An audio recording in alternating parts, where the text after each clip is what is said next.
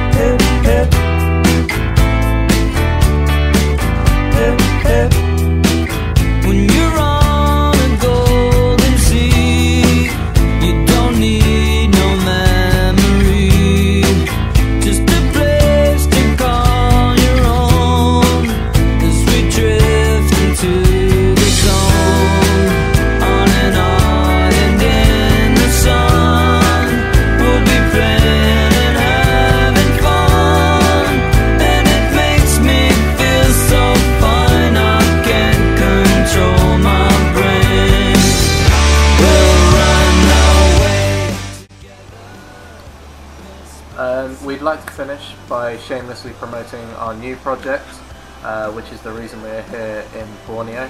Um, it's also a timber-based project, which means we can apply everything that we've learned through group design to it.